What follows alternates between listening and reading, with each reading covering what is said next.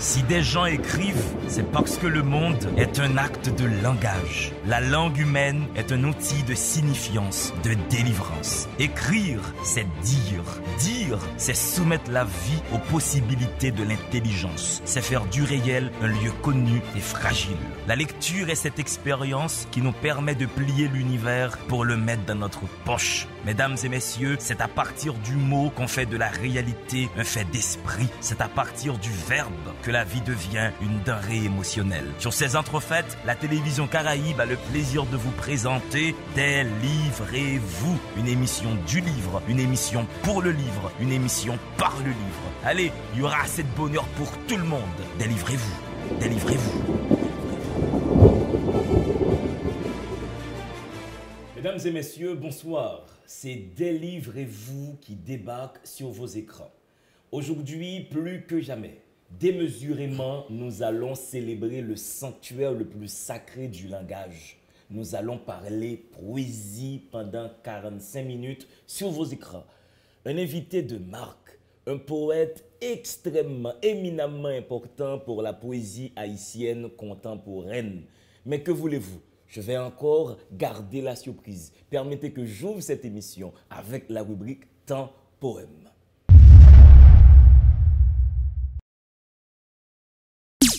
Je vous parle d'un temps que les moins de 20 ans ne peuvent pas connaître. Montmartre, en ce temps-là, accrochait ses lilas jusque sous nos fenêtres. Et si l'humble garni qui nous servait de nid ne payait pas de mine, c'est là qu'on s'est connu, moi qui criais famine et toi qui posais nu. La bohème, la bohème, ça voulait dire on est heureux. La bohème, la bohème, nous ne mangions qu'un jour sur deux. Dans les cafés voisins, nous étions quelques-uns qui attendions la gloire. Et bien que miséreux, avec le ventre creux, nous ne cessions d'y croire. Et quand quelques bistrots, contre un bon repas chaud, nous prenaient une toile, nous récitions des vers groupés autour du poêle en oubliant l'hiver. La bohème, la bohème, ça voulait dire tu es jolie. La bohème, la bohème, et nous avions tous du génie.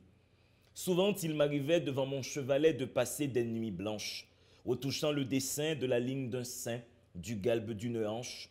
Et ce n'est qu'au matin qu'on s'asseyait enfin devant un café crème, épuisé mais ravi, fallait-il que l'on s'aime et qu'on aime la vie? La bohème, la bohème, ça voulait dire on a 20 ans. La bohème, la bohème, et nous vivions de l'ère du temps. Quand au hasard des jours, je m'en vais faire un tour à mon ancienne adresse, je ne reconnais plus ni les murs ni les rues qui ont vu ma jeunesse. En haut d'un escalier, je cherche l'atelier dont plus rien ne subsiste. Dans son nouveau décor, Montmartre semble triste et les lilas sont morts. La bohème, la bohème, on était jeune, on était fou. La bohème, la bohème, ça ne veut plus rien dire du tout. Mesdames et messieurs, hommage à Charles Aznavour qui est parti cette semaine. Place maintenant à la présentation biographique de mon invité, l'excellentissime poète Sito Kavé.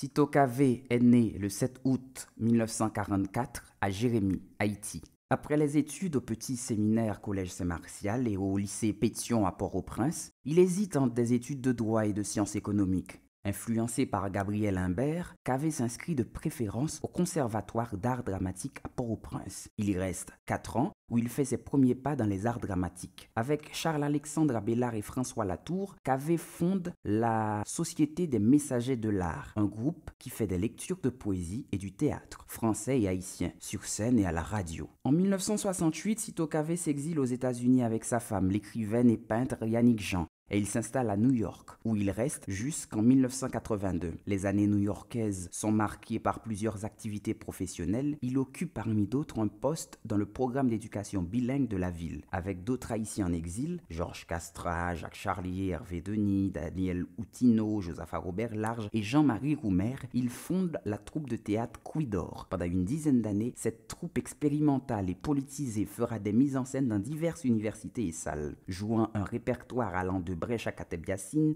Dionesco à Césaire. Quidor est présente à de nombreux festivals en Martinique, Guadeloupe, France, au Canada et au festival latino-américain, participant avec, parmi d'autres, le Living Theatre, Augusto Boral et Gato Barbiri. La troupe explore de nouvelles formes de théâtre. Sito Kavé est de retour en Haïti en 1982, rejoignant sa deuxième épouse, Régine Charlier, avec Cayotte Bicinte, Hervé Denis, Lionel Trouillot et Pierre-Richard Narcisse qu'avait fondé l'Atelier des Arts et Spectacles, Adassa, à Port-au-Prince, en 1983. En 1989, il fonde la compagnie théâtre Vigie avec Toto Bicinte. Sito Cavé a en son nom plus d'une douzaine de pièces pour la scène, en créole et en français. Elle continue à être jouée en Haïti, aux États-Unis, en France, en Martinique et en Guadeloupe. En plus d'écrire et de mettre en scène ses propres pièces, il réalise des mises en scène des œuvres d'autres auteurs tels que Simone Schwarzbart, Tombeau Capitaine, Ina Césaire, Rosalie Soleil et Claude Innocent, ce fou d'empereur. Il vit à Pétionville où il continue à se consacrer au théâtre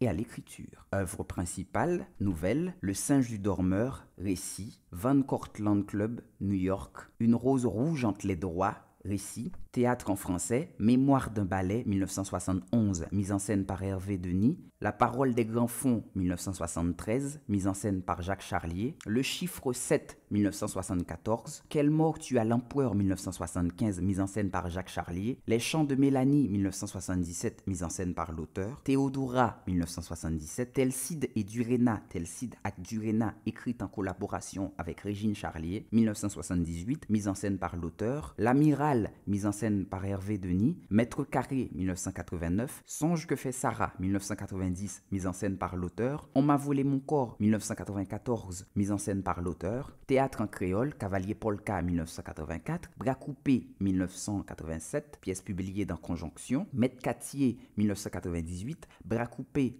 Plis des lots pièces théâtre créole, Maître à Cavalier Polka, Préface Lionel Trouillot Port-au-Prince, C3 édition 2015. Poésie, Laissez passer, laissez passer, Point final, point final, conjonction 195, juillet, août, septembre 1992, juillet, août, septembre 1992, qui de nous a cassé la lampe, qui est-ce qui cassé lampe conjonction 196, octobre, novembre 1992, 104, 105, qui d'un soir, Montréal, Sidica 2011, la cabine jaune, New York, Rivart 2015, d'amour à mort, d'amour à mort, recueil de chansons, Port-au-Prince, l'imprimeur de 2015.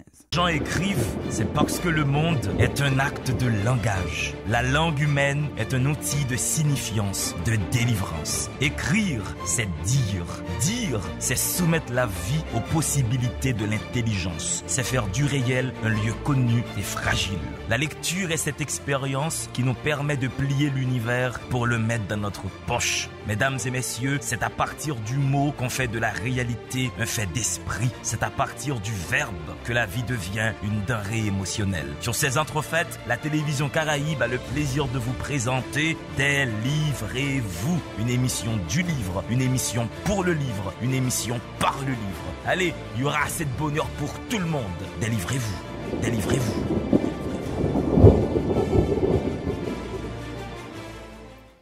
Sito KV, lecture courante, page 80, poésie. Tous les pas inutiles nécessairement mènent à la poésie. Je n'arrête pas de me pendre pour ne rien dire. Surtout aujourd'hui que les fenêtres s'ouvrent à la routine du vent. Bienvenue sitôt à Délivrez-vous. Merci de m'avoir invité à ton émission que je suis régulièrement. Et puis merci d'encourager tant de jeunes à lire.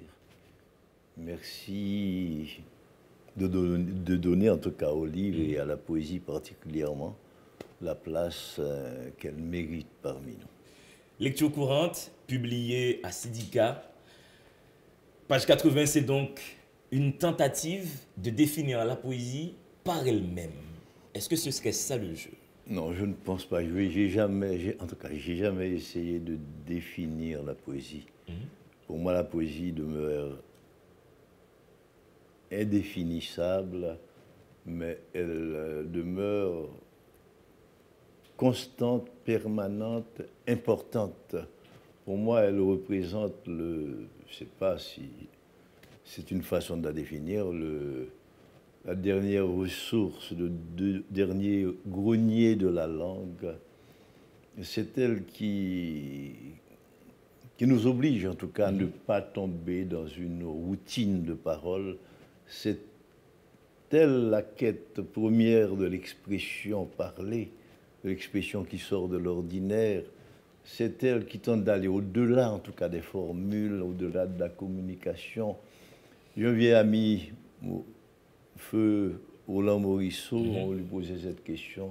C'était quoi pour lui la poésie? Il disait, bon, la poésie ne dit rien. Et Dieu seul sait si elle dit tout. Mais elle prend beaucoup du poète, cette poésie. Parce que là, nous sommes quand même dans une pendaison, pour ne rien dire. elle est exigeante, la poésie. Elle est urgente et je crois qu'on on frôle souvent le silence. C'est-à-dire, on peut, on peut passer une nuit à écrire ou bien à tenter d'écrire quelque chose. Parfois, je me lève à 2h, 3h du matin, je suis sollicité par une image, une association, et puis je passe ma nuit dans mon bureau, mhm. essayant de traduire cette impression, ce sentiment que j'ai eu pendant la nuit, et puis j'arrive à écrire deux lignes ou trois lignes, je me dis, bon, ce sont peut-être les plus belles lignes de ma vie. Et le lendemain au réveil, donc, la première chose que je fais, euh, je retourne à mon bureau pour mhm. relire ce que j'avais écrit la veille. Et je me dis, merde, quelle merde. quel gâchis. Non, quel gâchis. C'est vrai, c'est vrai, ça se passe souvent comme ça. Ça veut dire, en fait, euh, sans s'en rendre compte, elle mhm. sollicite une rigueur, une exigence de, de travail, de parole une, euh, une quête permanente, en tout cas, de, mhm. de, de, langue. Elle a sa propre langue, elle a son propre dire. Et, et son propre dire tient, tient compte de toute son histoire aussi. C'est-à-dire, on ne peut pas on ne peut pas se contenter d'imiter ou bien de se référer à des poètes anciens. C'est-à-dire, ils exigent, ces poètes, que tu ailles plus loin. C'est pas qu'il ne compte pas, mhm. mais la poésie exige constamment un dépassement. À mon avis, je crois que c'est pour tout poète, c'est pareil. Est-ce qu'elle est également, la poésie, un espace où il y a possibilité de philosopher? Tu écris à la page 10, injonction. Ah L'obligation de vivre implique un savoir-être, une disponibilité humaine. Est-ce que je crois que ce sont mhm deux disciplines complices qui ont une grande, grande complicité et qui ont, je dirais, à peu près le même sort. Hein. Les, je ne vois pas, moi, quand je n'écris pas, je fais des incursions dans les livres philosophiques. Ça ne débouche, disons, pratiquement pas sur des choses pratiques, mais sur une réflexion, sur une vision de la vie, mhm. sur une vision des choses, en tout cas sur une compréhension du monde, et qui n'amène pas de solution, mais qui constamment amène à des questionnements. Mais sur le principe, au cas du savoir-être. Est-ce que le poète, lorsqu'il est en instance d'écriture, il n'est plus la même personne que lorsqu'il prend son café, lorsqu'il bavarde avec sa compagne ou son compagnon, est-ce que la poésie prend un savoir-être particulier? Oui, dans cette phrase, dire tu m'obliges mhm. à une, une, explication, c'est-à-dire une disponibilité humaine, un savoir-être. C'est pas en termes. C'est en termes d'humanité, c'est en termes d'une disponibilité humaine. Mhm on, est, on frôle souvent l'effacement, la catastrophe. Hein. L'obligation de vivre nécessite en tout cas un sens du partage, un sens du d'être là aussi pour les autres, pour la reconnaissance de l'autre, pour la pour aimer la vie, pour l'amour de la vie. Et, par rapport à tout ce qui se passe aujourd'hui, je mhm. crois que la poésie est aussi sollicitée par ça. La philosophie aussi. C'est-à-dire cette... Euh, tu, as l'impression d'un monde qui devient de plus en plus mécanique, d'un monde euh, où bouffé par le marché. Où la vitesse devient la seule valeur La qui seule vaille. valeur où les- on n'a pas le temps, on n'a plus le temps de se parler. On n'a plus le temps de socialiser. Tout passe par le téléphone aujourd'hui. Et tu as l'impression de, ou bien Internet, tu as l'impression de gagner du temps. Tu es constamment sollicité, mais ce marché-là capte ton attention. Tu n'as même plus le temps hein, de te donner, de prendre rendez-vous avec toi-même, ou bien avec une femme que tu aimes. Ouais. C'est-à-dire l'attention est captée. La faculté d'attention est bouffée par le marché. Au point de, de, de plus pouvoir rencontrer l'être humain, de ne plus pouvoir s'accorder un instant de parole entre nous, un instant de jeu, un instant de bavardage. C'est-à-dire, tu as l'impression que on te force à dire ce qu'on voudrait que tu dises. Et on est dans une culture des résultats Des résultats ou bien de la monotonie, Mhm. et on a l'impression de vivre ensemble, mais nous sommes moulés, nous sommes ligotés. Mhm. Alors je crois que là, ces deux disciplines interviennent fortement et nous invitent, nous convoquent vers un dépassement de tout ça. Je crois que c'est la philosophie et la poésie. Ouais. Donc du coup, tu es en train de dire peut-être que la poésie permet de reconfigurer le réel, de le rendre Absolument, de le repenser et de le dépasser et puis de, de convoquer vers un ailleurs, vers un dépassement de ces moules mis en place. Et la culture des imprévus, dans l'urgence du soir, la routine des lampes incite au bavardage. Quelqu'un, peut-être, d'inattendu passage. Là, je suis dans le principe d'énonciation. Là, nous sommes dans, dans une langue qui s'appelle Sitokavé. je reprends le poème. Dans l'urgence du soir, la routine des lampes incite au bavardage. Quelqu'un peut-être d'inattendu passage. Est-ce que c'est ce privilège que la poésie accorde au poète? C'est cette possibilité de faire sa propre langue dans la langue commune. Ouais, je le crois. Je le crois. Et tu continues, mise en garde. Saviez-vous ce qu'on dit? Ça suffit. Je voudrais savoir, toi, ce, ce parti pris stylistique, tu fais beaucoup de poèmes, tu mets une phrase, tu mets deux phrases, et tu laisses la page blanche. Euh, Est-ce que la page blanche complète le poème La Un besoin de plage- silence. La page blanche, c'est la terreur de- du, du poète. Mhm.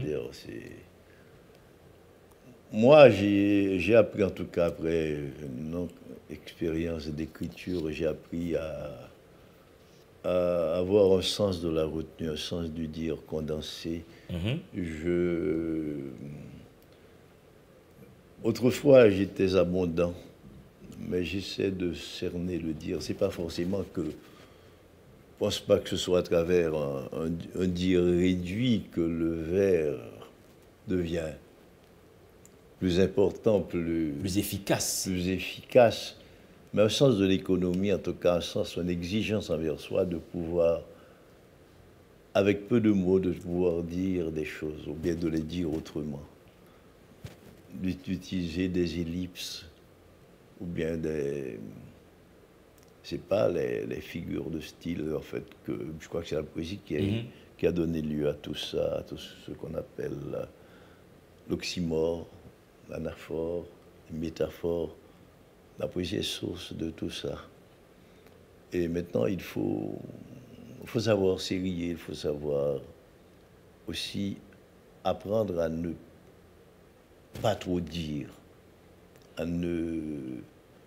Parce que partout ailleurs, on, dit tout, même dans le roman. Hein, Dans le roman, on va jusqu'au bout d'une histoire qu'on commence à raconter. Mais la poésie, il y a quelque chose de non raconté, de non épuisé, de non dit, mais quelque chose qui a trouvé son expression, en tout cas secrète. Moi, je peux mille fois, cent fois revenir sur un poème, le relire.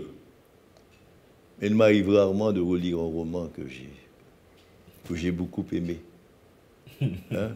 Il y a une convocation de la poésie par sa forme, par son expression, qui est ramassée, qui, qui est forte, ou qui imprime quelque chose à la page et dans le cœur ou dans la tête, quelque chose qui, même après l'avoir lu, ça reste, ça résonne encore. et ça te convoque, et même tu arrives à apprendre cette chose-là par cœur, et apprendre à le dire aussi, c'est une manière de, de dire que quelqu'un a parlé pour toi, a exprimé un sentiment. Quelqu'un est arrivé à dire par la forme poétique ce que tu souhaiterais dire de cette manière. Du coup, le, lecteur, il est partie prenante du rendu poétique. Il a l'impression d'avoir euh, participé euh, à l'écriture. Voilà, c'est ça, c'est ça la passerelle qui s'établit, je crois, entre le lecteur et le poète et la poésie. Un poème pour Rachel Beauvoir. Fille d'huile au profil d'un songe, la mer s'est resserrée autour de sa maison. Est-ce que ça participe encore des avantages de l'acte poétique? Les mots peuvent se substituer, se remplacer. Pour dire la mort, tu peux utiliser la mer. Pour dire euh, l'obscurité, tu peux utiliser la lumière. Est-ce qu'au fait, tu peux voilà, remplacer les mots? C'est comme si les mots ne sont pas enfermés dans leur sens strict, mais peuvent... Je ne sais pas ce qui m'a c'est pas ce qui m'a porté à dire ça. J'ai connu très bien Rachel, c'est une femme que j'appréciais beaucoup, que mhm. j'aimais beaucoup euh, par son travail, par sa curiosité dans l'ethnologie, par son souci de, de donner un sens à, la vie, une curiosité culturelle l'animait, mhm. euh, la place du vaudou dans notre pays, retourner à ces rituels, retourner à ces, en tout cas cette grande composante de notre culture, et mener jusqu'au bout cette quête, ne pas laisser tomber ça, apprendre à, le découvrir, à le redécouvrir. Et en plus, quand je suis, je suis allé la voir, deux ou trois fois, elle n'était pas encore très malade, c'était dans sa maison, hein, le home fort de son, à Mariani, à Mariani, qui se, se trouve euh, en face de la mer. Tu vois, donc c'est peut-être euh, l'image de la mer m'est revenue. C'est ça, c'est comme l'immensité qui se resserre autour de sa maison. La Promesse. Mhm. comme le disait. Tu... Ouais, vas-y. C'est Baudelaire, non? Oui, Baudelaire. Tu aimeras toujours ouais. La mer. Homme libre. Homme libre. voilà. Promesse, j'ai bu deux tasses de café, j'attends quelqu'un, lecture courante, site au cavé. Allez, respirez. Si des gens écrivent, c'est parce que le monde est un acte de langage. La langue humaine est un outil de signifiance, de délivrance. Écrire, c'est dire. Dire, c'est soumettre la vie aux possibilités de l'intelligence. C'est faire du réel un lieu connu et fragile. La lecture est cette expérience qui nous permet de plier l'univers pour le mettre dans notre poche. Mesdames et messieurs, c'est à partir du mot qu'on fait de la réalité un fait d'esprit. C'est à partir du verbe que la vie devient une denrée émotionnelle. Sur ces entrefaites, la télévision Caraïbe a le plaisir de vous présenter Délivrez-vous, une émission du livre, une émission pour le livre, une émission par le livre. Allez, il y aura assez de bonheur pour tout le monde.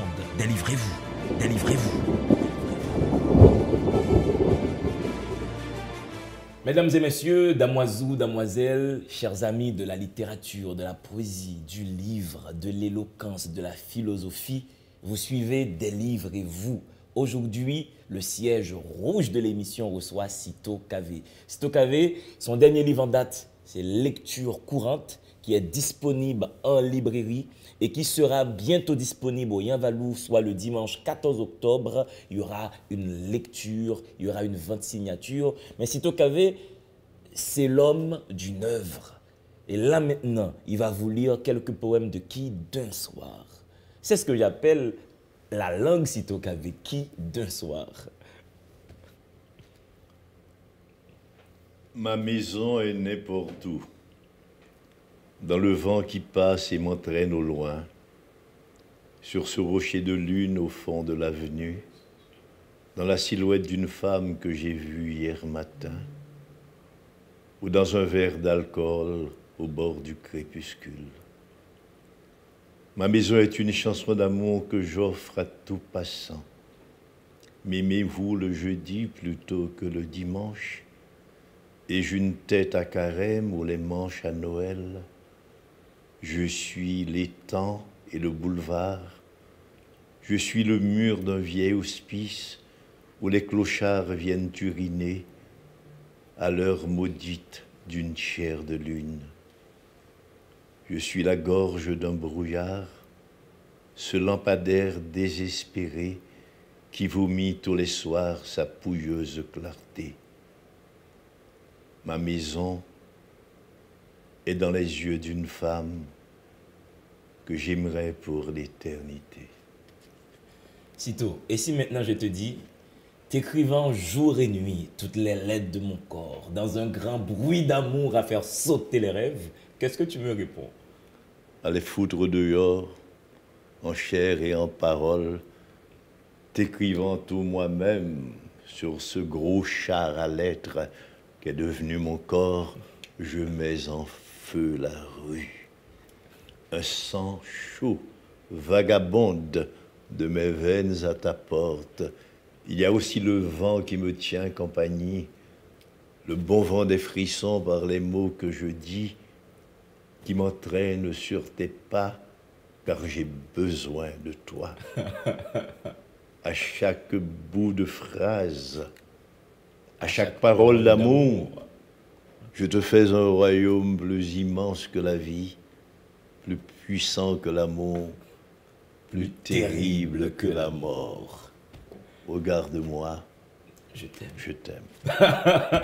si toi aussi maintenant je te dis, femme non belle. Femme la belle laurier, soleil a bombardé. Femme la belle qu'on papillon la lune a crucifié sur une toile à rien. Fom lan bel kon bol dlou kle, yon jandam ki gen ke, ta ofri yon prizonye. Fom lan bel kon ti bouji, senk kob lan korido trezor. Fom lan bel kon piyes de goudin sou chemen vant kode. Fom lan bel kon la fumen kap dambala sou domon makaya. Fom lan bel kon gyep panyol. Avant le modèle. Mais ça, c'est. Femme non belle, là, son poème qui, qui est bon en gorge, quoi. Parce que, au fait, c'est la recherche des images et le non-lien immédiat entre les images et la grâce de cette femme. Faut maintenant qu'on l'affirme, au fait, c'est. À l'évidence, ça peut paraître euh, comme une option poétique tout de suite, quoi. C'est vrai, mais je dois dire aussi, je dois rendre un hommage à Willy Saint-Louis, Jean qui a trouvé la mélodie qu'il fallait à ce Ouais. texte. Ah, c'est quand j'ai... La mélodie m'a, en tout cas, m'a contribué à... m'a appris à aimer ce texte, Ouais. à découvrir, à redécouvrir ce texte. C'est comme si, bon, c'est pas ce, ce texte attendait cette mélodie. Merci Willy. Depuis toi, elle date de quand la mer Depuis quel jour tes yeux? Où irons-nous ensemble? Souvent je pense à un bateau, à une pluie torride, à un cours d'eau intime. Toutes les heures ont froid et moi je dis tes yeux, lune fendue sur l'immensité. Toutes les nuits gémissent, moi je dis ton sourire comme un dernier appel à la raison d'aimer. Tu es ce qui se passe de plus étrange entre mes doigts. Tu es ce qui me fonde, tu es ce que j'écris, tu es l'aube qui se lève entre deux nuits qui fuient. Est-ce que la poésie est le lieu privilégié du marivaudage? Est-ce la meilleure façon de draguer sitôt? Euh, sais pas ça. Je, ne- je ne dirais pas ça, je ne crois pas. Je crois que le, le chant d'amour hein, trouve son, son, son lieu de rendez-vous, en tout cas dans, dans la poésie.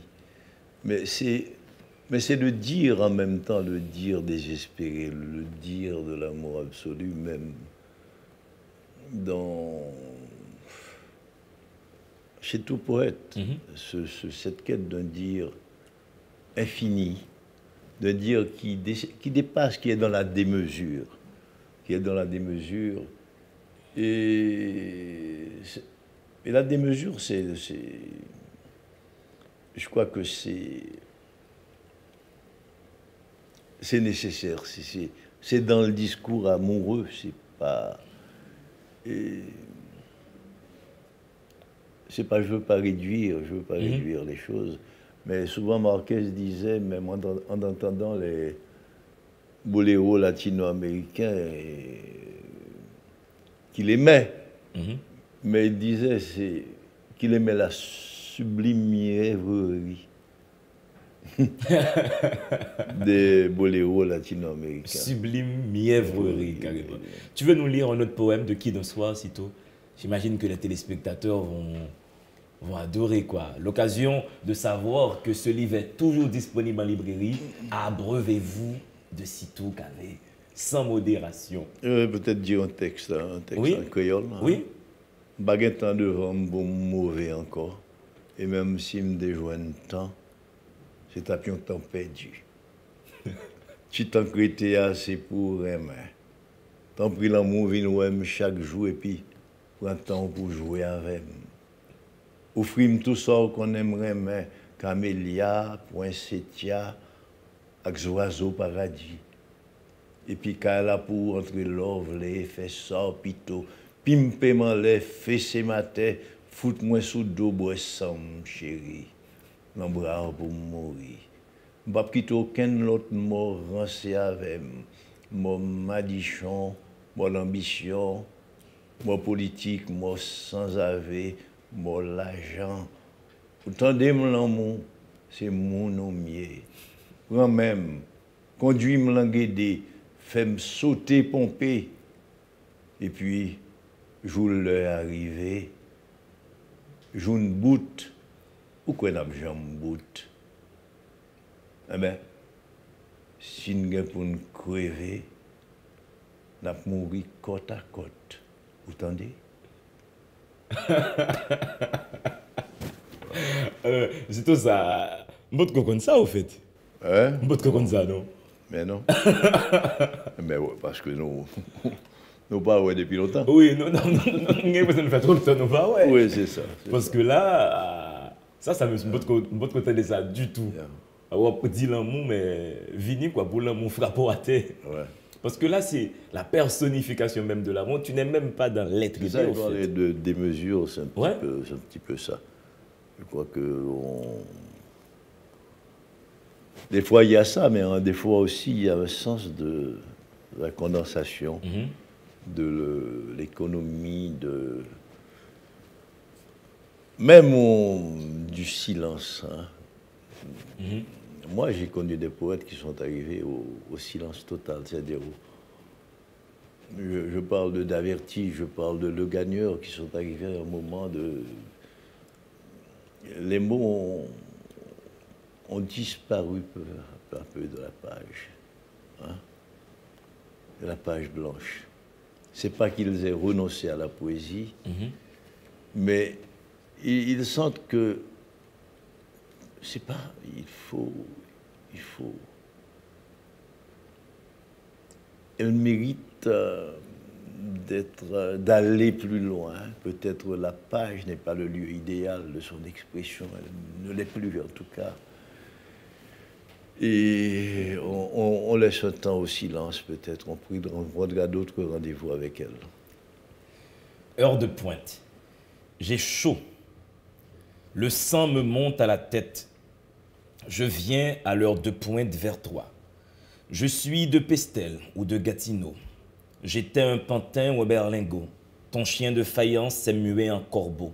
Je croise, bégaye, je bêle et je beugle.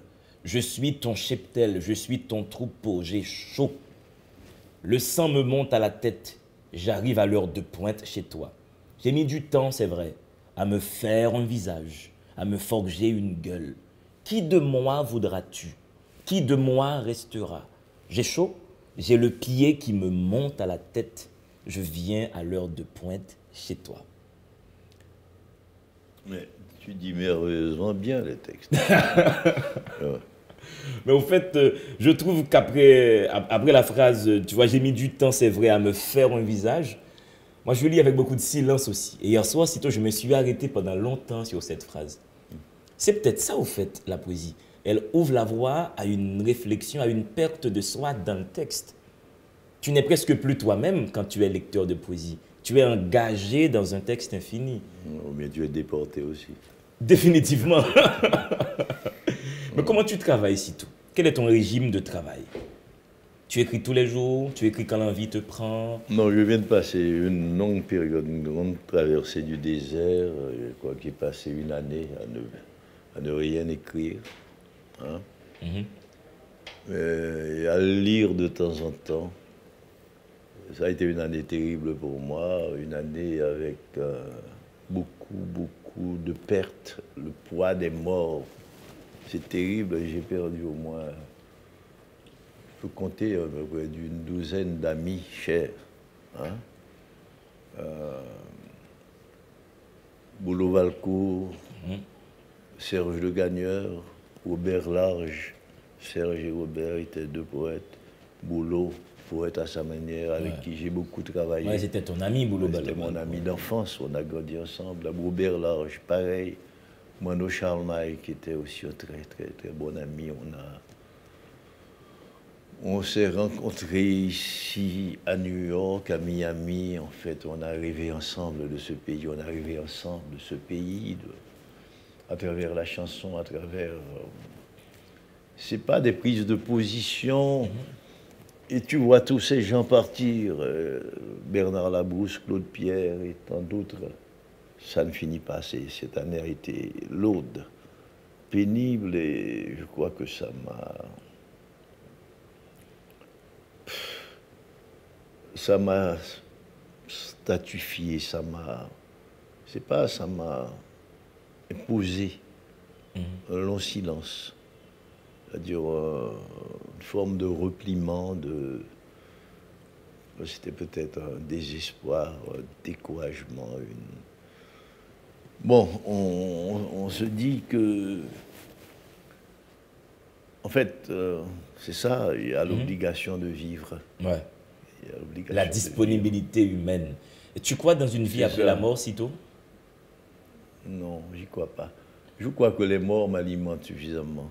C'est vrai, je suis alimenté par des tas de morts. C'est-à-dire, des fois, je, je, je, retrouve, je fais tel geste, hein, je sais pas, dans une conversation, et puis je me rends compte euh, de ce geste, je dis, mais ce geste ne m'appartient pas. Ce geste me vient d'une vieille femme ou bien d'un vieil oncle que j'ai perdu depuis longtemps. Et voilà que ce geste s'empare de moi, ce geste est resté dans, dans, mon, dans ma mémoire corporelle, dans ma mémoire, euh, je ne sais pas, c'est un retour en tout cas de notre, de sa trace, mhm. de ses mouvements, ou bien de sa façon de parler. Des fois, je sens que le ton que j'utilise n'est pas mon ton à moi, c'est le ton de quelqu'un d'autre. Ou le choix de vocabulaire. Euh. C'est ça, c'est-à-dire, donc c'est un petit peu le voyage des morts en nous-mêmes. Ils reviennent, ils reviennent pour dire que nous sommes là, nous continuons la route avec toi, nous t'alimentons.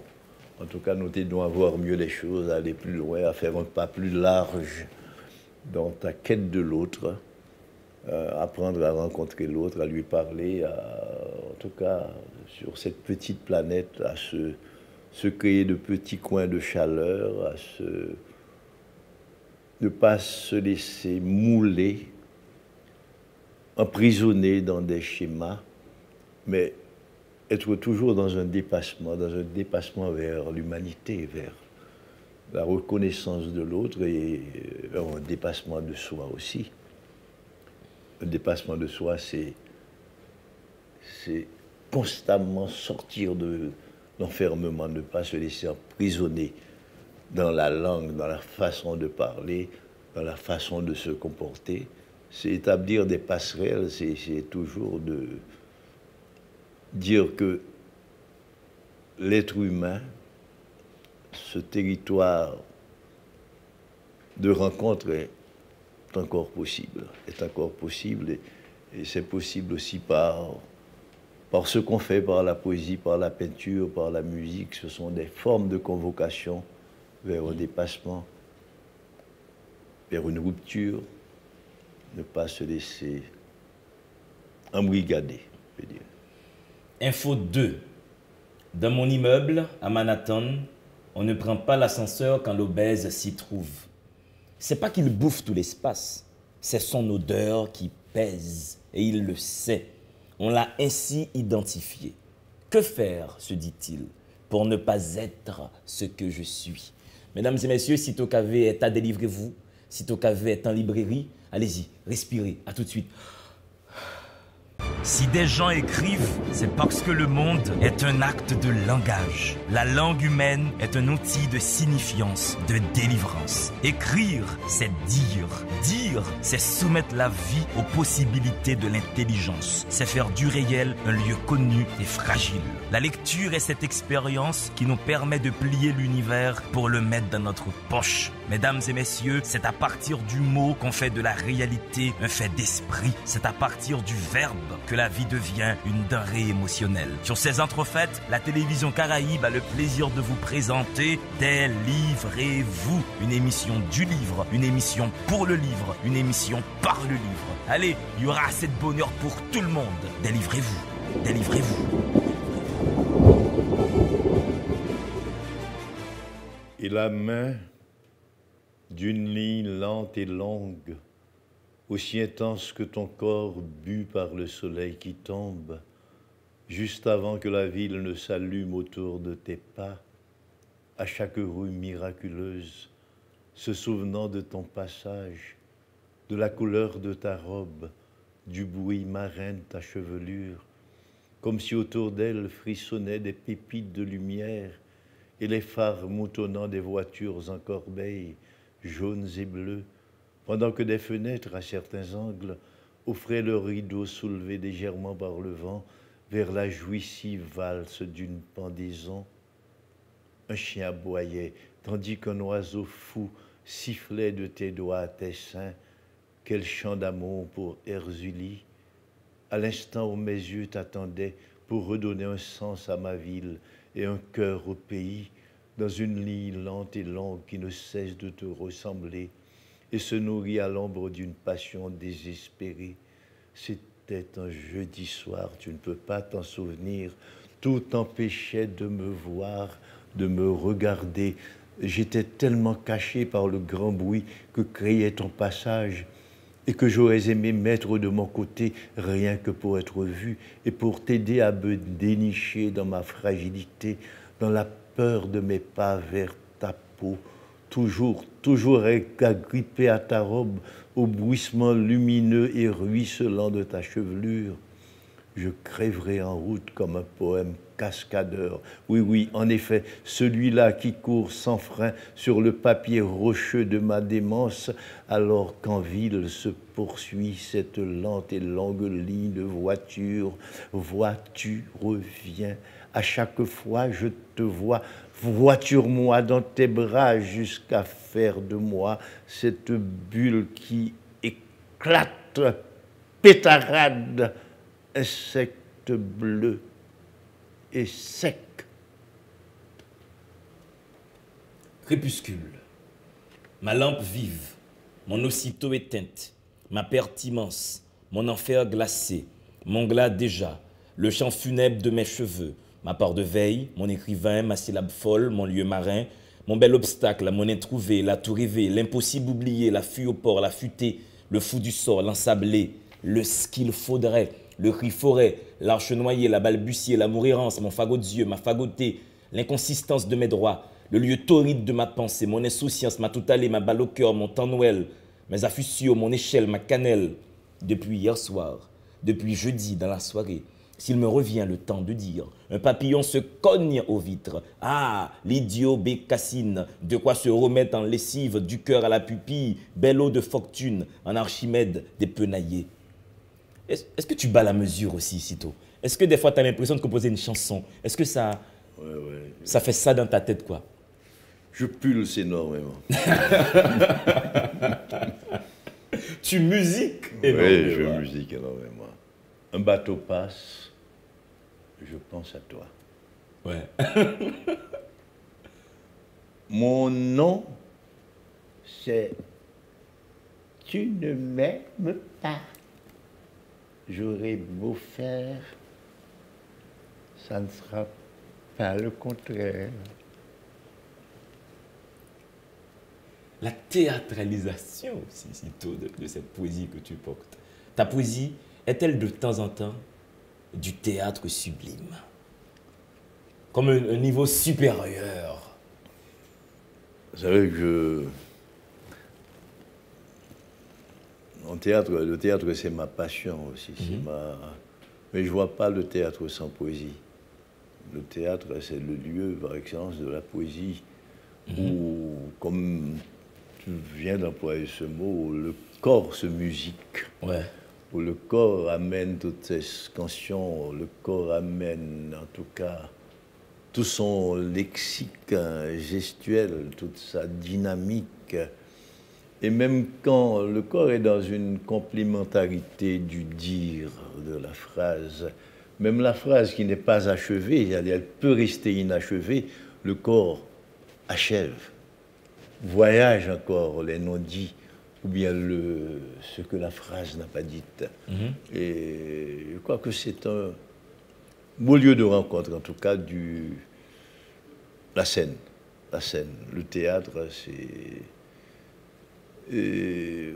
moi, je suis, heureux d'avoir, d'avoir fait du théâtre et de continuer à le faire. J'avais commencé avec les classiques mais quand je me suis décidé avec Hervé Denis, d'autres amis, Jacques Charlier, Aubert Large et tant mhm. d'autres encore, euh, euh, à faire du théâtre, on mhm. s'est dit qu'il fallait faire autre chose. Il ne fallait pas rester emprisonné dans, dans le moule classique où le corps était vraiment passif, était, était au service du texte. Uniquement, mhm. l'acteur était figé et quand on a euh, voulu faire du théâtre à notre manière, en tout cas, on s'est dit qu'on va faire un théâtre à partir de notre culture, à partir du vaudou, à partir de la musicalité du corps en Haïti, ces mhm. femmes qui traversent les rues. Hein, c'est une, euh, ce sont des poèmes qui dansent, ce sont, c'est toute une mélodie que ça charrie, c'est tout un nouveau langage qui se dégage de, mhm. cette, euh, de ces pas, même de la façon de parler qui est une façon chantée même les, les, non-dits, même les, les onopatopées, pour qui rété, pas qu'à. C'est-à-dire la langue charrie tout ça, on a l'impression en mettant mhm. ces, expressions, ces exclamations. Hein, ensemble, tu as, tu as une mélodie très, très Mhm. Donc tu es en train de dire. donc voilà, dans, dans, le théâtre, c'est ce que, en tout cas, c'est ce qu'on a essayé de trouver. Cette espèce de, non seulement au niveau du corps, au niveau de la façon de jouer, au niveau de la façon de dire aussi, comment nous ne parlons pas français comme, comme un Français le fait, un Parigo mhm. le fait, nous, nous habitons la langue différemment. Nous habitons la même langue, mais nous la charrions différemment. Et tu, tu, tu sens qu'en entendre un haïtien parler français, c'est-à-dire que cette langue est habitée par la musicalité du créole. Donc ça aussi, c'est un atout. Et en tout cas, dans le théâtre, qui, qui enrichit les choses. Ça, fait une francophonie résolument haïtienne. Voilà, voilà, voilà. Qui, en tout cas, si, euh, si c'était ça le projet d'Aroconi, elle a eu bien eu. elle a eu sa raison d'être en tout cas. C'est Est-ce que mal lire un poème, c'est le faire échouer? Non, je ne pense pas. Peut-être qu'un diseur peut passer à côté. Pour se dire, dire, c'est un, un travail aussi, c'est un métier. Dire peut révéler un poème, contribuer à le faire entendre, à le par quelqu'un qui l'a lu, qui n'avait pas encore senti la musicalité du texte. Donc le, la diction, la façon de dire, et puis la capacité du diseur, révèle à l'oreille en tout cas la beauté du texte. Hein. Mm-hmm. Mais euh, quelqu'un qui n'est pas non plus un bon diseur peut aussi démolir un texte. Je crois, peut... Altérer son ADN, quoi. Voilà, voilà, voilà. Où va ce pays? Page 104, lecture courante qui est disponible en librairie. Le corosolier se mourait. Il y a eu heureusement deux pluies salvatrices. Cette phrase m'a été dite aux portes du réveil, à l'heure du café, quand se prépare dans la minutie des droits le mixage de la poudre et de l'eau pour un bon jet d'arôme. Le pain grillé attend lui aussi son beurre pour donner au matin sa couleur souveraine. Après une longue sécheresse, deux pluies nocturnes intermittentes. On s'est réveillé à l'aube, dans un soleil jaune, légèrement cassé. Les plantes du jardin, humectées de rosée, dégageaient timidement leur parfum. Dormir n'est pas facile. Se lever aussi est un risque. Qu'est-ce qui nous attend? Où va ce pays? Je te pose cette question aussi, Sito. Si dormir n'est pas facile, se lever c'est un risque. Mais qu'est-ce qui nous attend? Où va ce pays, Sito Café? Je suis sûr que c'est une question que tu te poses aussi et que d'autres se posent, c'est vrai. Tous les jours, c'est-à-dire l'incertitude, la, sais pas, la, difficulté d'arriver à quelque chose ici, d'arriver à créer un pays. Dans cet espace, je, je sais pas, il y a de plus en plus on tend vers un, aplatissement. Il y, a une, il y a une conjugaison qui ne naît pas. Un sens euh, du faire ensemble. Hein. Et, mais cela au-delà des entraves, des prises de position idéologiques, mais il devrait exister quand même. Euh, un rapport sensible à ce pays, à ce lieu mhm. qui t'a donné naissance. C'est-à-dire ce besoin de protéger cet espace, ce besoin de dégager pour l'autre d'autres espaces aussi, ce besoin de, de créer, de créer du travail, de créer des emplois, ce créer de faire preuve d'un minimum d'imagination économique. C'est-à-dire, quand je pense, moi, depuis ma naissance, c'est-à-dire, ce pays a reposé longtemps sur la paysannerie, sur l'épaule de la paysannerie. Il n'y a jamais eu un encadrement, c'est-à-dire tout ce qui avait été exporté depuis, en fait, la naissance de ce pays. Tout cela, c'est sur la production paysanne. Mais aucun encadrement pour renouveler, pour même dans les propres intérêts de ceux qui possèdent, hein, de ceux qui exportent même pour faire plus d'argent, il faudrait organiser autrement la production, permettre aux paysans de produire mieux, de produire une meilleure qualité de café, de cacao, de coton. Et parce qu'il y a la compétition quelque part. Dans les premiers temps, ça allait très bien. On vendait ces produits massivement. Mais il n'y a pas eu de prise en compte de le marché se développe et aussi de prise en compte de, des capacités de la paysannerie. C'est-à-dire on ne peut pas produire de la même façon. On peut produire plus et on peut être mieux outillé. On est passé à côté de tout ça. Là, il faut un investissement de l'État et des oligarques haïtiens. Absolument. Il faut refaire le pacte social, proposer une nouvelle sphère commune de pour le bien-être de, tous, hein, pour le bien-être euh, du pays et de tous ceux qui y habitent.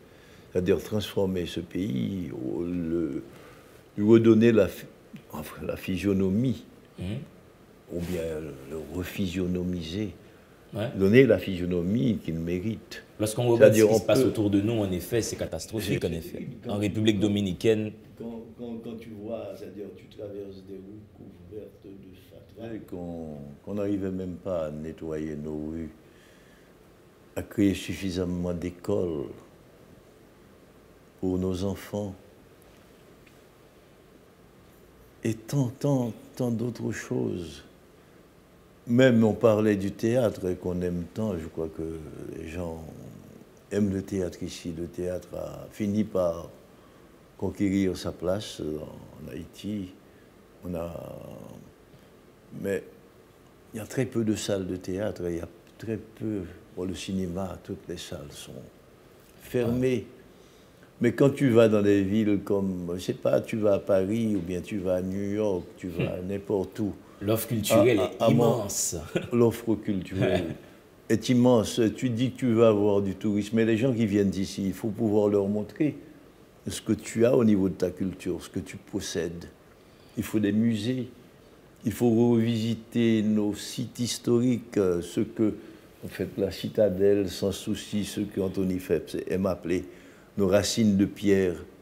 Mais il faut faire de ces lieux hein, des lieux de, de, de visite, des lieux de,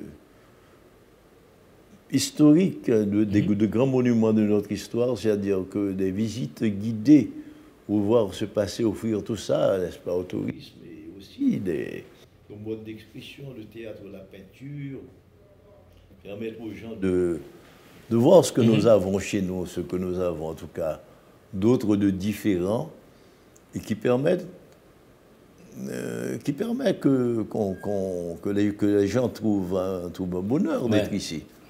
Hein? Absolument. Mais il y a des choses que tu n'aimes pas, Sito Kavé. Et dans ce livre, tu en parles un peu. Nous sommes à la page 107. Tu écris M. M me rappelle Marshall ou McDonald, des gens que j'aime pas. Et t'aimes pas ces gens, quoi. Non. Et tu continues. C'est flibustier du béton qui aplatissent nos villes. Je préfère la hardiesse des artichauts à l'angle des rues Villatte et Auger. Donc M, euh, M c'est pour, euh, c'est là que t'aimes pas. Quand il y a M, t'aimes pas. C'est vrai, c'est. Bon, c'est. Ça, c'est la. L'industrialisation, l'industrialisation à outrance. La- le, le marché a, a causé d'immenses dégâts. C'est vrai que c'est un grand, un grand lieu d'échange, de respect, mais en même temps, c'est un haut lieu de manipulation, hein, au lieu de. C'est-à-dire, même maintenant, c'est le fast-food. On, on- autrefois, on se référait à la cuisine des vieilles grand-mères. Hmm. C'est vrai que la population a augmenté, mais, mais ces choses-là disparaissent. C'est-à-dire ce que nous avions découvert, la saveur d'un. hein, d'un, je sais pas, en pisquette, ou tom-tom, ou lambi boucanin, Ouais. tout ça se perd. Et euh, McDonald's, Bouffe toute la ouais, place. Ouais, ouais, Castel, c'est ce qui prend toute la place. Et... Men menm lèm ap janbe mal jakmel, ap gade mandarin, mango, ti fig, misket yo. Mm -hmm. Sou wot la, men menm mwen men mwete la. Mwete la, mchita. Mm -hmm. Lèm bal jeremi, mwaryete mango mwen sou wot la. Bout avin pi long pou men. Men, mwen men lèl long pou sa. Ou pou an pose. Ouè, son plezi, son plezi fou, son plezi enom. Men lèm pran ou di Jérémy, se lèm fèt. Men lèm ap pran wout la. Se wè non tan wout la, te kon, te kon pran 16 etan. Wotou, mèm lèm, mèm lèm pran bato, on pran, ou pati, a 5 et d'après-midi, ou privé, on pran, a 8 et 9 et du matin. Men, wout la, pou mdi wout la long, men kon ya menm le wout la vin pi kout, men mwen men prentan mwen sou wout la. Paske pou genpè son chak kwen ou rive, moun bagay moun vi gade. Bon, mwen eh, ap pale avan siklon nan, se vre ke pi bo a ou komanse pou se lot bo a, men lèm de kon avan, mm -hmm. Mathieu, mwen ap fè ou Jeremie, Mwen chè, mwen ve, mwen pase fèm padra, mwen ap wè. rivye glas, janbe yon peyzaj, mango ap tombe sou tout wout, ou pren veritab mango, bambou, son, son vre jwa. Son bonheur riyel. Son bonheur riyel, ou pren. Ya, mse peyi sa, ke m pensek toujou lak posible, e pi, bon, si nou met me ansam, si nou revè fò, hein? Ouè. Ouais. Mwen men lò pale de faire preuve d'imagination économique. Ouais, Créer un modèle économique qui permettre que tout le monde dans le pays vive bien. Sitôt maintenant, quelques questions du questionnaire de Proust. Quel est le principal euh, trait de ton caractère?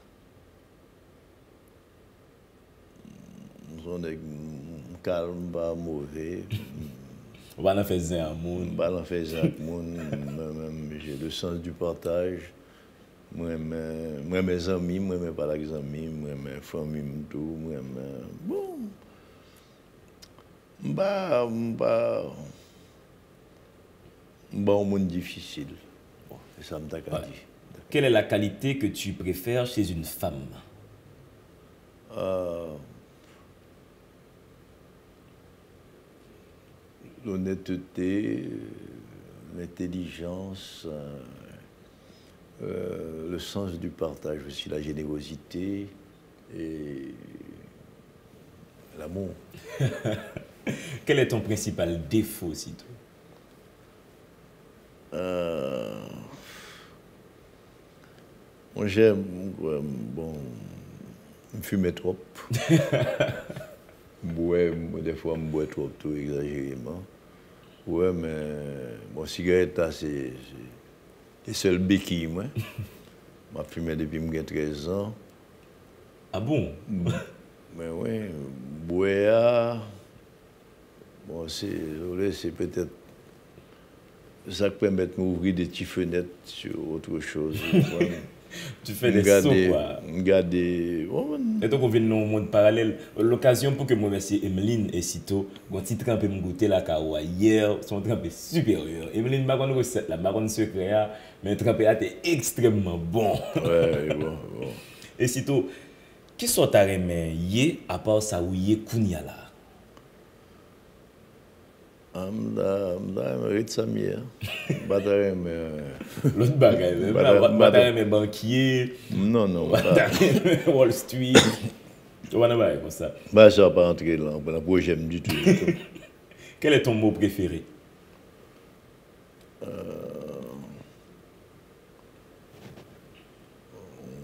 Moi, c'est un péché terrible là. Il y a un pile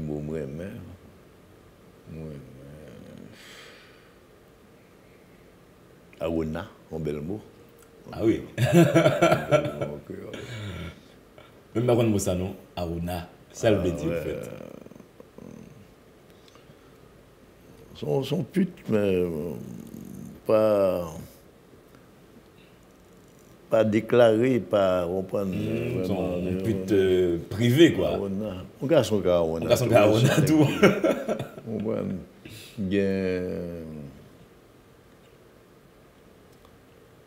la mer, la. Ton liste de mots. Tu... Ouais. Enfin, quelqu'un trouvera ça. Si vous savoir, en fait, dans mes livres, je crois que je reviens souvent avec. Euh... Enfin, il y a des mots qui, ouais. qui sont constants. Qui, la mer qui revient, les jours de la semaine reviennent. Les mots de la semaine, et puis. Ouais. Et puis, sitôt, quel est le son ou bien le bruit que tu détestes. Euh... Bruit ou crissement, bruit où vois-tu son,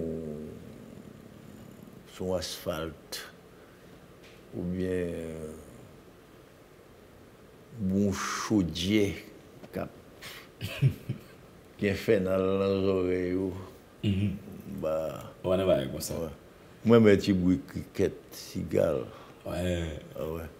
Et bruit ça meublé qui remplit la limite. Et, bon, et bruit ça qui bon bruit. Et puis, sitôt, est-ce qu'il y a un personnage historique que tu méprises? Ah ouais, il y en a plein. Il y en a plein. Euh...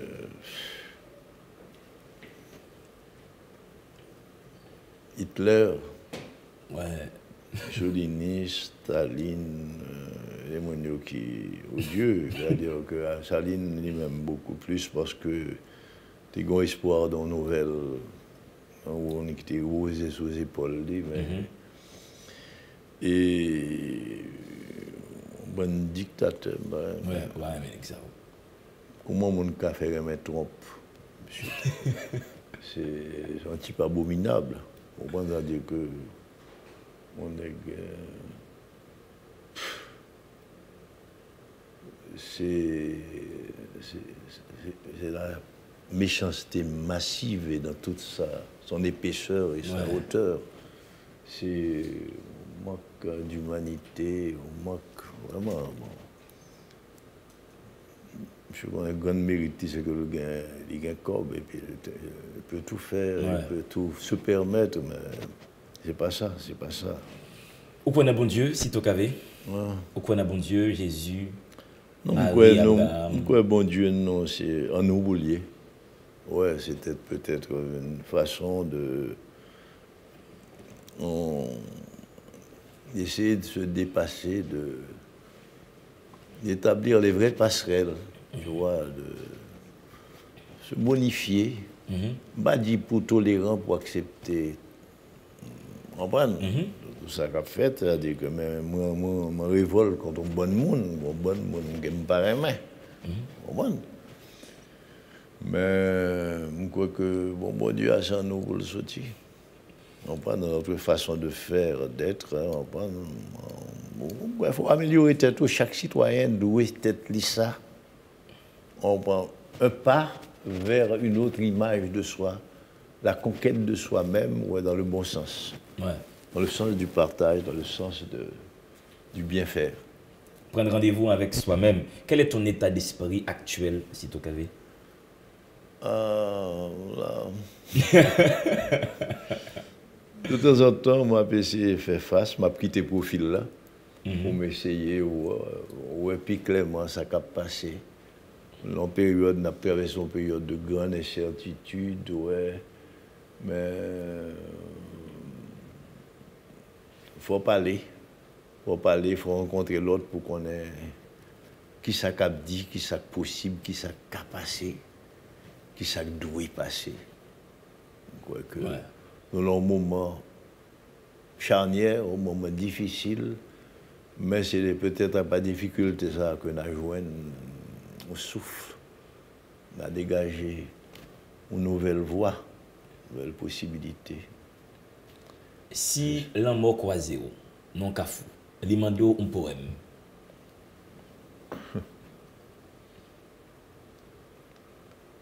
euh... Ça me gadi li. L'arrivée fait son pito. ouais. Oui. Ouais. Mesdames et messieurs, lecture courante, le dernier livre de Sito Kavé qui est disponible particulièrement dans la librairie La Pléiade et qui est disponible bientôt dans Yavalou, c'est dimanche 14 octobre à 6h, c'est ça Sito?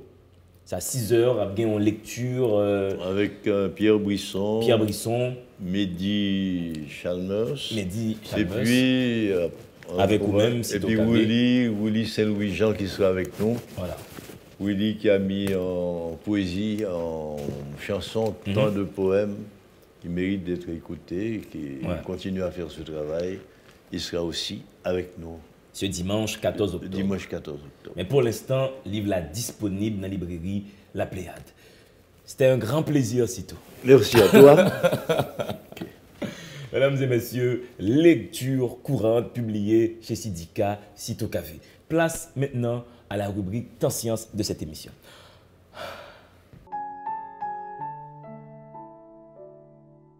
Aujourd'hui, à Temps nous allons parler d'une potentielle menace que nous tous nous encourons sur la Terre. Dans l'espace, il y a, mesdames et messieurs, des astres qu'on appelle des astéroïdes. Et voici donc le sujet de cette rubrique aujourd'hui. Maître Volmar est dans nos murs. Bienvenue, Maître Volmar, chez toi, à délivrer. Ah oui, bon, c'est chez moi, quasiment. On va parler des astéroïdes. Est-ce que j'ai déjà bien présenté la chose en disant qu'il s'agit d'astres, les astéroïdes? Oui, ce sont des corps célestes qui euh, existent euh, dans le système solaire Et la très grande majorité des astéroïdes se situe entre euh, Jupiter et Mars. On appelle ça la ceinture d'astéroïdes. Selon les, les, hypothèses les plus euh, répandues, on pense que c'est une planète qui aurait dû prendre naissance euh, dans ce partie de l'espace, Mhm. mais à cause de la perturbation gravitationnelle de Mars et de Jupiter, la planète n'a pas pu prendre naissance. Mhm. Donc, euh, les agrégats de cette planète hypothétique euh, sont restés sous forme d'astéroïdes. Et les astéroïdes sont donc des blocs de pierre suspendus dans l'espace. Parfois ça. aussi des blocs de métal. Ah bon, carrément quoi? Quoi Oui. comme métal Euh, le fer, par exemple, et la plupart du temps le fer. Mais c'était pas, il ne faut pas avoir dans les astéroïdes seulement des blocs de pierre. Il y a ça aussi. D'ailleurs, quand on parle de pierre, les, les pierres que nous, que nous, auxquelles nous sommes habitués, et, et ce sont, ils se sont produits à partir de, de- de phénomènes géologiques, il y a des transformations chimiques et moléculaires qui se sont produites. Alors que ce n'est pas le cas des astéroïdes. Et c'est précisément ce qui fait leur intérêt euh, scientifique. J'ai parlé euh, en introduction de menaces pour la Terre. Est-ce que j'ai exagéré? S'agit-il vraiment de menaces? En fait, j'ai parlé de, de l'intérêt scientifique Mhm. euh, des astéroïdes. Les astéroïdes ont deux intérêts euh, pour, pour les scientifiques. Le premier, c'est un intérêt strictement scientifique. Mhm. Le besoin de comprendre l'origine du système solaire. Et, et- et le deuxième, c'est cette menace. Ok?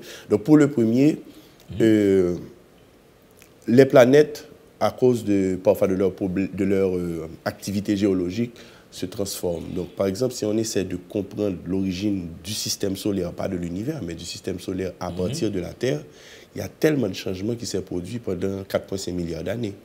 Comme par exemple la répartition des continents sur une carte. C'est pas comme ça qu'était la Terre il y a quelques milliards d'années. Tous les continents étaient réunis en un seul super continent qu'on appelle Pangée. Et ça va se produire dans des millions d'années à venir. Les, les continents vont, se encore, vont Ouais. encore se rapprocher. Donc cette transformation font que euh, il y a des traces qui ne sont plus, euh, euh, on ne peut plus avoir accès à les informations qui sont, qui ont disparu avec les transformations géologiques. Ce qui n'est pas le cas des astéroïdes. Est-ce que la Terre continue continue? Alors les astéroïdes sont comme euh, ils étaient au début du, du système solaire. Donc D'où leur intérêt. en D'où leur effet. intérêt. Donc les étudier, les comprendre, c'est de comprendre de quoi le système solaire était fait à ses débuts. À ses débuts. Voilà pourquoi euh, actuellement il y a une sonde qui est en train de, de- de- de- de prélever des, des échantillons sur un astéroïde et le rapporter sur Terre afin qu'on puisse euh, l'étudier. C'est d'une extrême importance pour comprendre, euh, Ouais. comme tu viens de le dire, la composition du système solaire. Est-ce que la planète Terre a déjà essuyé une pluie d'astéroïdes? Au début, oui, parce que j'ai dit tout à l'heure que c'est une planète qui aurait dû prendre naissance entre Mars et Jupiter. Eh bien, c'était comme ça dans tout le système solaire au début. Donc, il y avait un gaz qui s'est agrégé par la force de la gravitation et ça a formé plusieurs pierres, entre guillemets. On utilise le, Ouais. le terme pierre.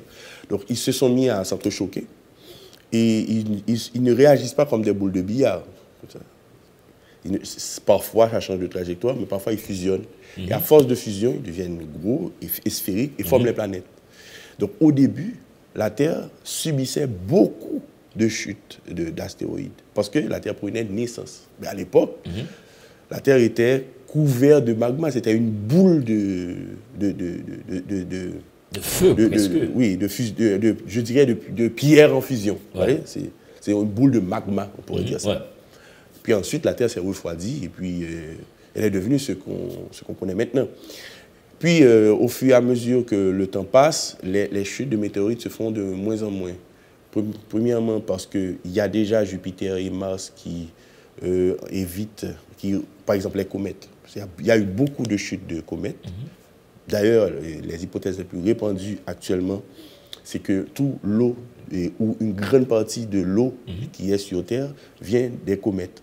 Donc il y a eu beaucoup de chutes de comètes sur la Terre, mais au fur et à mesure, il y en a eu de moins en moins, et Jupiter capte la plupart de, de- de- des- comètes qui, qui, qui pourraient croiser les, les trajectoires euh, de- de la Terre. Donc maintenant, le risque que représentent les astéroïdes, c'est encore Jupiter. Jupiter nous protège des comètes, mais en même temps peut pousser des, des astéroïdes à laisser leur trajectoire euh, normale ou, primaire mhm. et de se lancer sur d'autres trajectoires par perturbation gravitationnelle. Donc il faut que, euh, que nos téléspectateurs et téléspectatrices se rappellent de la loi de Newton. Donc la gravitation augmente avec la masse. Donc Jupiter a beaucoup de masse, donc il influence tout son espace immédiat. Donc si un astéroïde passe trop près de Jupiter, Jupiter dévie sa trajectoire. Mhm. Et ensuite, Mars va encore dévier cette trajectoire. Et il se pourrait que la trajectoire de l'astéroïde croise celle de la Terre. Et du coup, ça passe d'astéroïde à géocroiseur. Et c'est là et que euh, les problèmes pourraient commencer. Pas commencent, mais pourraient commencer. Par, parce qu'au fil des, années, euh, la crainte, c'est que comme la trajectoire se croise, mhm. donc un jour, la Terre et, et, ce géocroiseur vont se retrouver au même point, au même endroit. Pour l'instant, ça ne se produit pas. Il y a des articles qui sortent de temps en temps dans les mhm. revues de vulgarisation scientifique qui disent que euh, euh, euh, un astéroïde va frôler la Terre. Mais quand ils le disent comme ça, la plupart du temps, l'astéroïde passe même plus loin que, que la Lune. Mais plus de 300 000 km. Fait, quelle est, si tu veux, et la mesure réelle du danger? Est-ce que rien ne protège notre planète contre une pluie d'astéroïdes maintenant? Rien comme, si tu veux, dispositif euh, gravitationnel ou euh, dans la constitution de la Terre, est-ce que rien ne nous protège? Est-ce que cela veut dire que là maintenant, en quittant la télé, on peut recevoir sur la tête une astéroïde? Bon, alors, c'est une très bonne question. Oui, on est protégé par l'atmosphère mais l'atmosphère ne nous protège pas nécessairement des, chutes de météorites. Mhm. déjà, dès que l'astéroïde euh, va rentrer en collision avec la Terre, c'est devenu une météorite. Une météorite, ok. Donc, l'atmosphère nous protège, mais cela, c'est relativement euh, à la masse de l'astéroïde. Par exemple, euh, si le météorite a la masse ou à la masse d'une balle de tennis, par exemple, mhm. eh bien, l'atmosphère part fautement parce que euh, la, météorite, il mhm. franchit euh, à travers l'air que nous respirons à une vitesse extraordinaire mhm. et ça produit beaucoup de frottement. Ça chauffe le météorite et, elle prend feu. Mhm. Et quand elle prend feu, on dit que c'est une étoile filante. En fait, dès qu'on voit une étoile filante, c'est une météorite qui vient de rentrer dans l'atmosphère. Et chauffée par, par, par l'air, elle prend feu. Mais ça, c'est pour les petits, euh, petites météorites. Oui, pour les petites. Mais quand on imagine euh, que ça fait, euh, par exemple, en Russie, en 2015 ou 2016, je ne me rappelle pas vraiment, mhm. mais c'est assez récent, il y a eu une chute et, la météorite a explosé dans l'atmosphère. C'est à cause de la pression de l'air et, de mhm. toute l'énergie qui est, qui est emmagasinée pendant la chute. Elle a explosé. Et a, a euh, l'explosion a produit plusieurs centaines de milliers de dollars de dégâts et 1000 blessés environ. Dire que, que le météorite n'a même pas atteint le sol. Donc, on n'est pas, on pas gardé, on n'est pas en sécurité. Non, voilà pourquoi c'est le deuxième intérêt euh, de la, des scientifiques pour l'étude des, des, astéroïdes. Il faut qu'ils connaissent leur trajectoire pour détecter les géocroiseurs et euh, voir venir l'extinction de l'humanité parce que ça s'est déjà produit des, avec, les euh, avec, les dinosaures au Jurassique. Et il y a 65 millions d'années, il y a eu une, euh, il y a eu chute de, de, météorites au Yucatan, je crois, mhm. qui, bon, ce n'est pas, pas la seule raison de l'extinction, mais ça a contribué à, à éteindre l'espèce des dinosaures. Et on peut être aussi victime de cela si on se prend un astéroïde de 100 km de diamètre. Et c'est la fin. Maintenant, ce qu'ils sont en train de faire, c'est d'étudier comment est-ce qu'on peut dévier la, trajectoire d'un astéroïde aussi gros et aussi dangereux pour la Terre. Parce que faut, il faut que, les, téléspectateurs et téléspectatrices comprennent que si on prend sur la tête un astéroïde de 100 km de diamètre, même si ça se produit en Chine, Mhm. Dans une heure de temps, on va ressentir les, secousses, des secousses sismiques liées à, à, la collision qui s'est produite à l'autre bout de la Terre. La croûte terrestre sera éjectée dans l'espace et va retomber sur la Terre. Donc, ce qui veut dire on est en ah, Haïti et on voit venir le feu du ciel. Et il y a aussi des tsunamis Qui vont, énormes qu'on n'a jamais vus parce que c'est un l'énergie produit, qui- que, que ça pourrait produire, comme si on imagine un astéroïde de 100 km de diamètre qui entre en collision avec la Terre, c'est plusieurs millions de bombes atomiques, bombes qu'on a sur Hiroshima. C'est ce, que les, c'est ce que les chrétiens appelleraient l'apocalypse. c'est l'apocalypse, c'est même la fin même du monde. Et ça s'est déjà produit euh, avec euh, la Terre est entrée en collision avec un pro- euh, protoplanète et ça a produit la Lune. Et cette explosion a reconfiguré et la Terre complètement. Donc ce sont des explosions qui se produisent, qui se produisent. C'est pas c'est pas la catastrophe ne fait pas que ce soit impossible. c'est pas l'attitude de l'autruche. Ça s'est produit sur Jupiter euh, en 1994 ou 1996, je crois. Les astronomes ont suivi en direct la collision d'une comète avec la planète euh, Jupiter. Donc ça se produit et on a encore les traces sur la Lune parce que la Lune, euh, vu qu'il n'y a pas d'activité géologique ni d'ac- d'activité atmosphérique, donc euh, la Lune est restée comme euh, elle était à ses débuts. Donc on voit tout le temps des cratères. Ce Ouais. sont des chutes d'astéroïdes, de, de météorites. Donc espérons que les scientifiques vont finir par déterminer, tu vois, un peu le parcours type des astéroïdes. Espérons qu'on va trouver des techniques pour peut-être les détruire avant qu'ils ne rentrent dans l'atmosphère. Il y a des techniques euh, théoriques. Il y a des techniques théoriques, comme euh, par exemple, euh, c'est de, de, de frapper l'astéroïde de, de, de, de- de rayon laser et tenter de dévier sa trajectoire. D'autres euh, euh, euh, théories consistent à utiliser des, de grands miroirs pour, pour, euh, concentrer la lumière du Soleil sur l'astéroïde et le dévier. Il y a aussi les, le- on pense aussi à frapper l'astéroïde de- de- d'une bombe nucléaire, Ouais. mais très peu de scientifiques euh, pensent que c'est une bonne idée parce que ce que, ce que pourrait produire cette bombe, c'est de fragmenter la- euh, euh, l'astéroïde et comme si on aura beaucoup plus de chutes.